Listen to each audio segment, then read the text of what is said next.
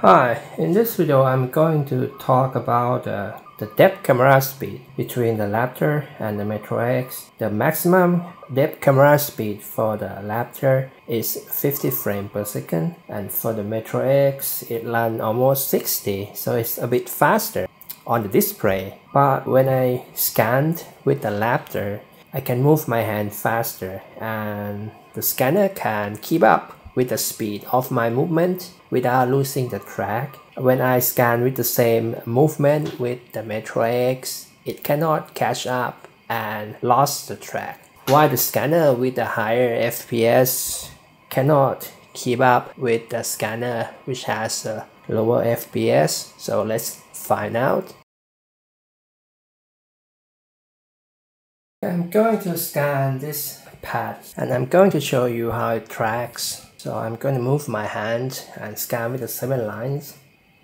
So I can move this fast and it's still tracking.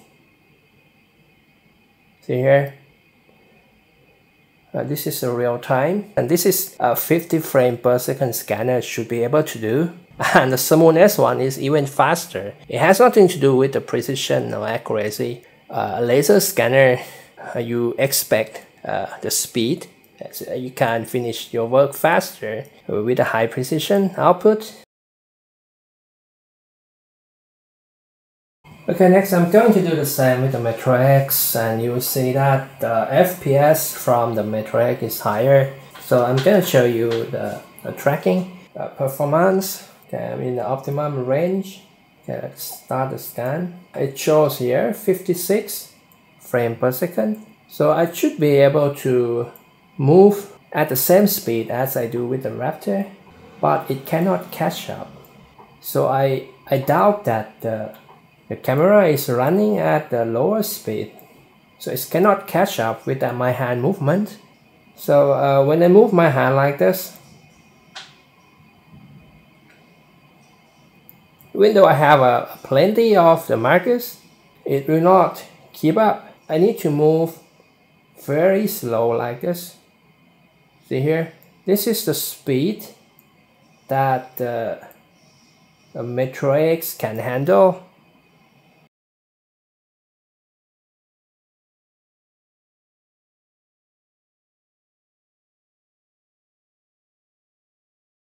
So I doubt that the Revo Scan software is not reporting the true FPS on the user interface. So I record the parallel line projector with a 240p camera. This footage is 1 second long and I count the number of strobes that produce uh, from the projector. The projector strobe frequency has to match the camera FPS. I replay this footage with the 50 times slow motion. Until the end of the footage, I can count 56 strobe and it matched the FPS that report on the user interface. So I doubt that in the software the camera may not produce the real FPS.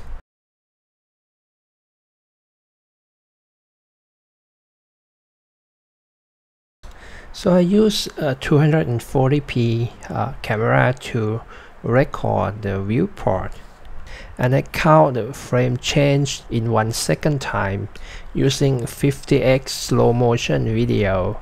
What you see here is the Raptor Pro scanning in the cross line mode. Each frame that you see here is produced by the camera, GPU and the CPU and it should reflect the real FPS of the 3D scanner.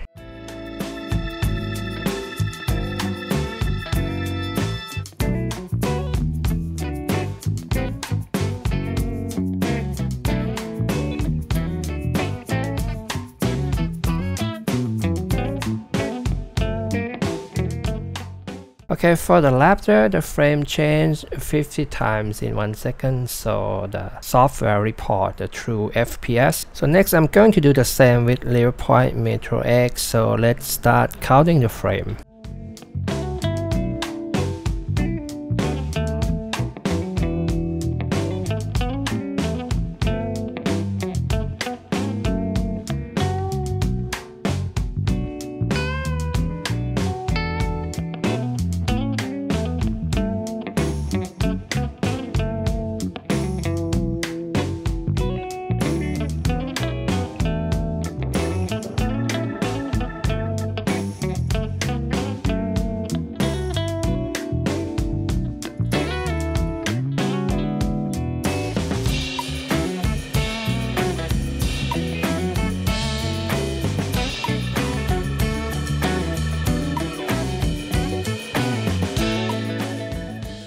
So now we know why the Metro X scanning speed is slower than the Raptor even though it shows a higher FPS because the FPS that shows here on the user interface is the frequency of projector strobe light not the speed of the camera. The speed of the camera is only 36 frames per second which is 28% slower than the Raptor and it is 36% slower than it is reported on the screen. Okay, thanks you guys for watching. I'll see you in the next video.